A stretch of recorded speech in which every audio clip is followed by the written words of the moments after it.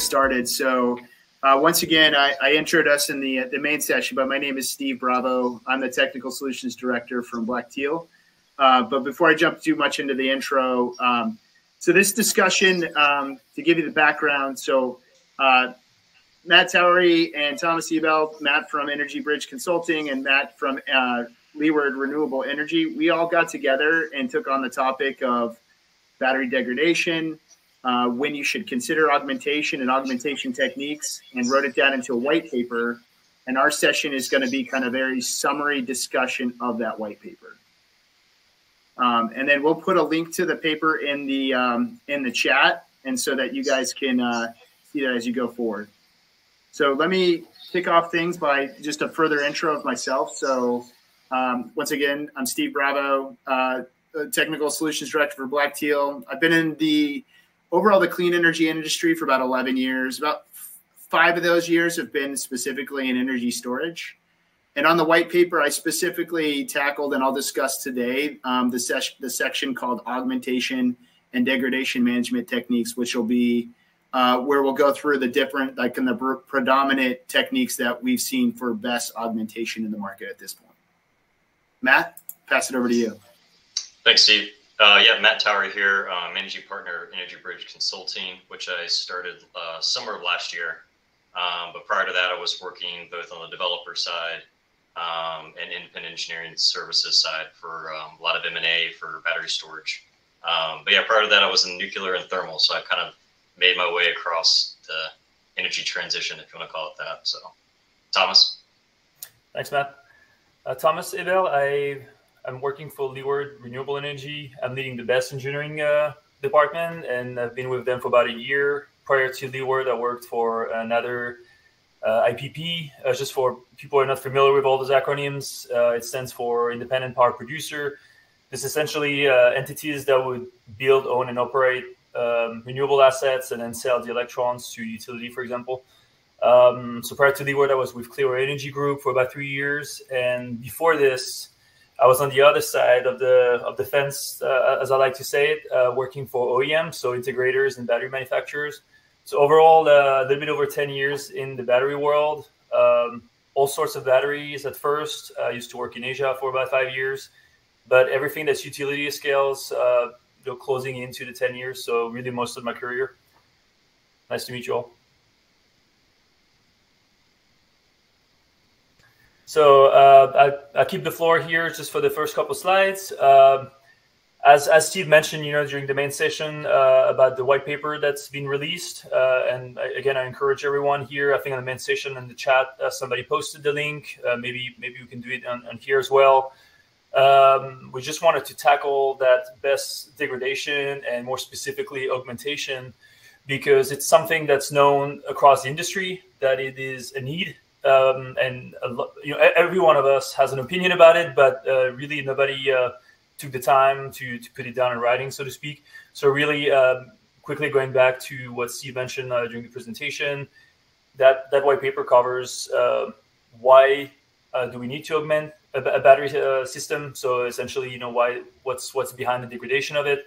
what you might might want to consider augmentation. In some instances, you might you know not need to um, an overview of some of the um, common techniques um, currently in the industry. It's some of them are theoretical. You know, just giving a disclaimer here. Um, obviously, we're lacking a lot of return on experience as it is quite new. Um, deployments are getting bigger and bigger, and that BESS augmentation is going to become a critical need very, very uh, soon. Um, it's not meant to be a very deep uh, chemistry topic here because I've noticed that during this forum here, there's a lot of chemists. Uh, happy to chat about this, but maybe you know further, further, you know, throughout the, breakout sessions. Um, but yeah, and just in general, like looking forward to, to discussing these topics with you guys. All right, so degradation fundamentals. Uh, this might be one of the most iconic uh, graph that you've seen, uh, you know, around. We're focusing on LFP just because it's been the dom, you know dominant chemistry currently for utility scale projects. Again, very very focused on utility scale, the whole world of, of IPP, as I mentioned earlier. So LFP has been predominant. Uh, prior to this, it was mostly NMC, but essentially here is just showing sort of uh, how a battery degrades depending on on the, your cycling life. So how many cycles per day, per month, per year, your calendar life, which means uh, the span, kind of the useful uh, lifetime, you know, design life. The DoD impact means uh, depth of discharge. So you're cycling your battery, yes, but how do you cycle it? So do you do a full discharge, full charge? Do you do small discharge at a time and, until you empty, or do you, or even just you know up and down like throughout the day? So it's it's very various applications. Um, and then the white paper just has a couple notes, as I mentioned prior to LFP. There was NMC, so just quick notes on the different uh, lithium-ion chemistries out there.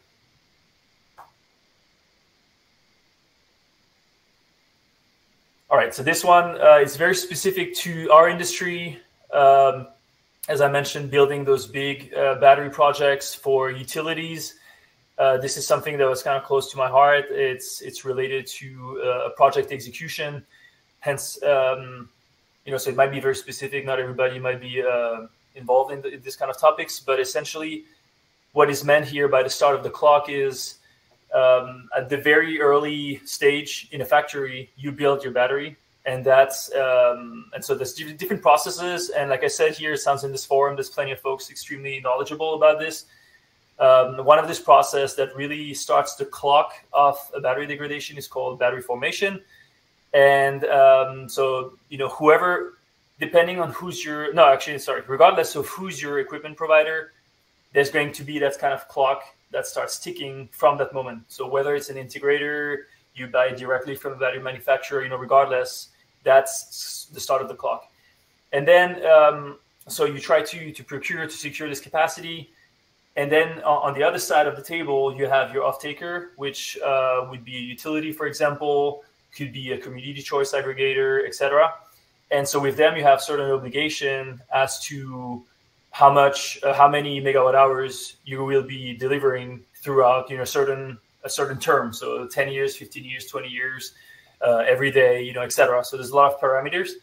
And uh, what I wanted to emphasize here with um, the red arrow here, you are here, is that you have to kind of juggle with with both concepts because you're buying an equipment that's uh, that's degrading, you know, day by day, and at the same time you have to guarantee your, a, a, minimum performance to your customer.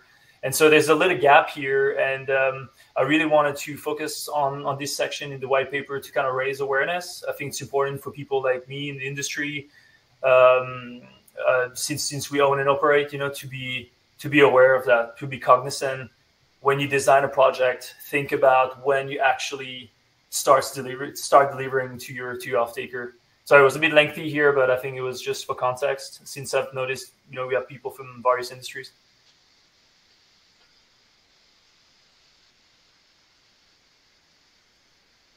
Is uh, back to. Matt? Yep. Yeah. Thanks, Thomas.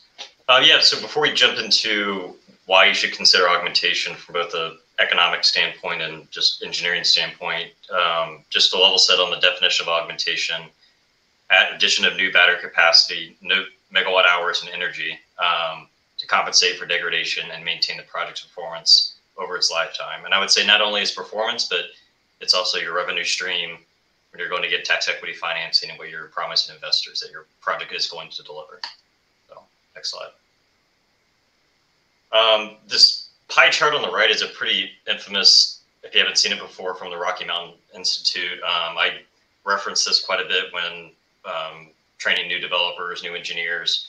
So early as your origination commercial team is, you know, trying to figure out where do we want to deploy battery, right? Whether it's in CAISO, ERCOT, PJM, um, and the wholesale markets, defining that use case or the multiple use cases. You know, I think we're all familiar with the the surge and merchant uh, battery projects in ERCOT, where you have spin, non-spin reserve, arbitrage, frequency regulation, all these pieces of that use case have different, um, as Thomas mentioned, depths of discharge, right? Your frequency regulation going to be a very different battery dispatch model than energy arbitrage or some of the other um, use cases such as resource adequacy, which is more common in CAISO.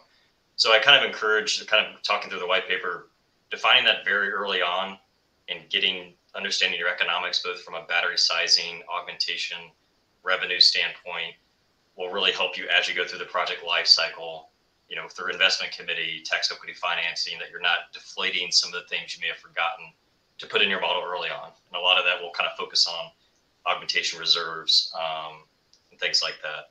The other, other piece we do talk about in the white paper is, as I mentioned, ERCOT, very big merchant market right now. Um, there's also other merchant markets in the U.S. But how does that differ between when you have a fixed tolling or a PPA agreement, or maybe your, def- your things as cycles and energy at the POI or the point of interconnect are more defined than something like a merchant forecast, for example. Um, go to the next slide.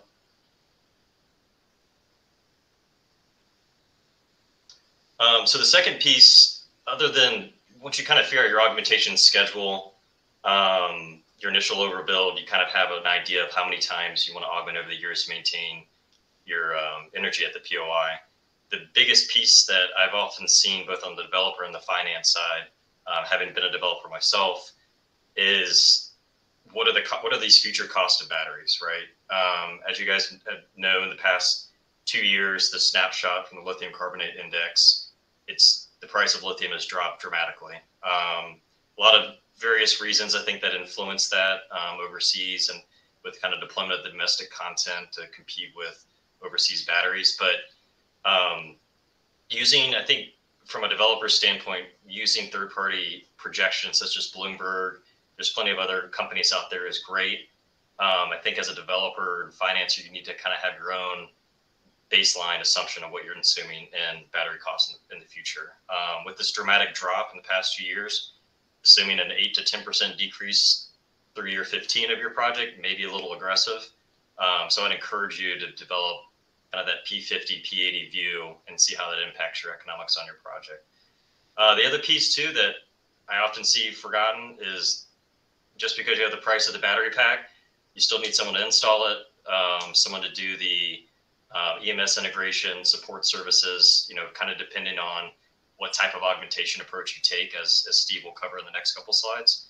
Um, and then lastly, too, tying back that merchant versus kind of firm offtake you know, in, in reality, if you're forecasting you're going to cycle 100 cycles a year in merchant market, you don't really know if that's actually going to happen, right? You may go above that, below that. So, kind of determining that exact year you plan to augment, knowing that you're taking a kind of a deflationary view on battery uh, battery cost, it could be a little aggressive. So, I, I was encouraged to look at different ways to show, um, you know, an OPEX reserve for augmentation over the course of 20, 25 years for your asset, um, as it can definitely swing the IRR on a project like that early on. So, um, yeah, up to you, Steve.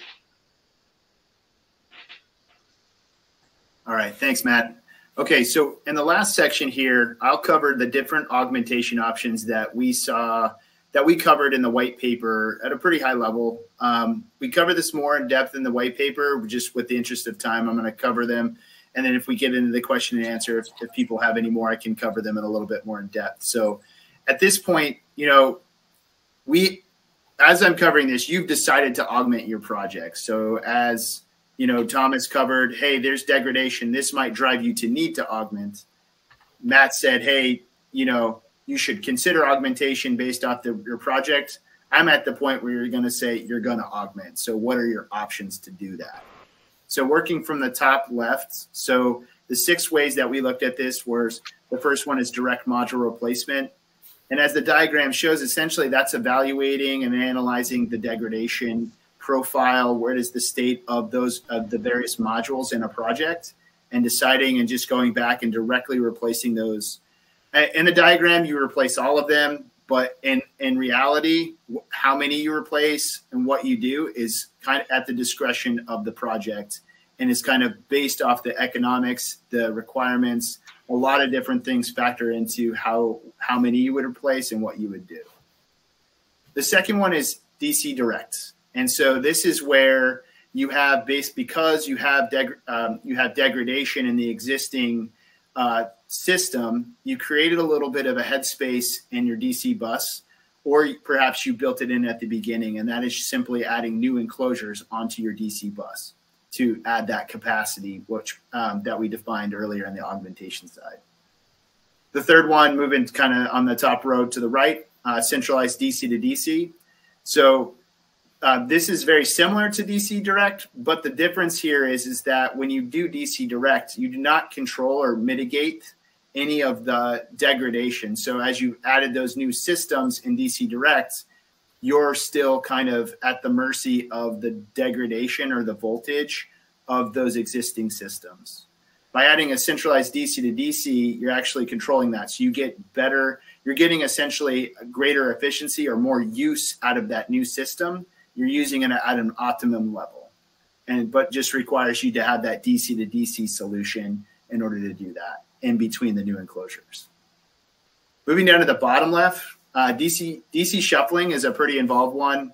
It's similar in the sense that you're going to evaluate the different degradation states uh, across your project.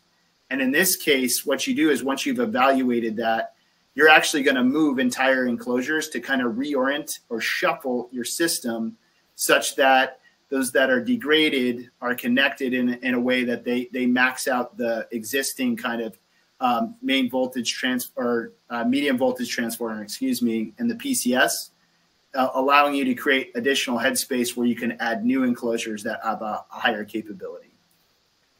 The next one, as we move away from kind of DC, we get into the two variations that we looked at on the AC side. One is AC medium voltage, and this is essentially adding entire kind of lines of uh, medium voltage transformer, PCS, and enclosures.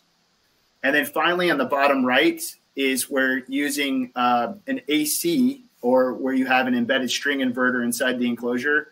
It's using AC inverters to uh, essentially in a similar function as DC direct, but because you have that AC enclosure, it allows you to add it and control the. Um, it allows you to mitigate and control the degradation between the new and existing systems. So, like I said, these are the six that we looked at in the paper. We go in in the paper we go into a little bit more about what you'll need. There's a we, we we look at it what you need to do it and a little bit more of a discussion about the pros and cons of each. So going on to kind of the last slide of the presentation here. In the summary portion of the paper i've just essentially directly copied this table. And and i and i'll preference preference this by saying this was a table and a summary of conclusions that Matt and Thomas and I came to after discussing not only amongst ourselves, but discussions with other industry people that we know about, hey, these six different augmentation techniques. This is but this is kind of our general take between a cost estimate, impact on your LGIA, increases to your footprint, and such on and so forth. Now, one another disclaimer I'd say is just because you see more green doesn't mean that that's the the one that we're recommending there is no recommendations that we make because everything is a little project specific and there's pros and cons to each. So, you know, direct module replacement, although it has three greens, in certain cases, there it, that's one where you if you if cost is more important, it's something you need to balance out with the others. So as you go through this, the other uh, as you go through this, you'll see various ones have kind of yellow, red, green, but those are just various areas of these mixtures that we said this one would be a pro, this one would be a con, and something to consider as you look and say, what are the needs of my project? What are the PPAs? What um, do I have the ability to add footprints? Do I have the ability to add a main voltage transformer and PCS things to consider? The other thing is on the notes at the very bottom, specifically for DC direct and for AC uh, low voltage, there's there's a certain way of like as people have gone through with augmentation one of the things that we've discovered is that there's a lot of projects throughout the history that have been installed and some of them didn't have planning for augmentation built in when they first built the project. But as you go forward as you look at certain one of these cases planning ahead can have a, a positive impact on the cost estimate for things like dc direct and aclv so with that um, that is the end of our kind of uh, okay excuse me one last one. Um, just to kind of review what we went through. So thomas talked about hey batteries degrade. Doesn't matter your chemistry they will degrade. And they degrade at different levels but there's some things that you should consider. What matt talked about was the fact that you know in certain cases you're going to want to consider augmentation but in other cases you might not want to or you might not need to because of the, the economics of your project, the setup of your PPA, there might be instances where you don't augment at all or where you choose because you think that battery prices are going to are going to stay relatively the same. Maybe you overbuild at the beginning. So the whole plan there and the whole intent of going through those things and then to my section where we talked about the different augmentation techniques is there's just a lot to consider when it comes to augmentation and our intent was to kind of write down some of those assumptions some of those questions so that when if you're a financier, if you're a project developer, if you're an OEM, that you're asking these questions so that you can, can kind of consider this, or at least you know what questions to ask as you consider augmentation and degradation on your project. And so then the last thing at the very bottom is the disclaimer. So once again, these where this research and this work we put together uh, are the opinions of uh, myself, Matt, and Thomas, and they kind of reflect the, the, the opinions that we have in here. We're not making any recommendations of what you should do for your project, because overall, everything kind of depends on what you should pick based off the specifics of your project or ones that you consider. So with that, um, we'll open it up to questions.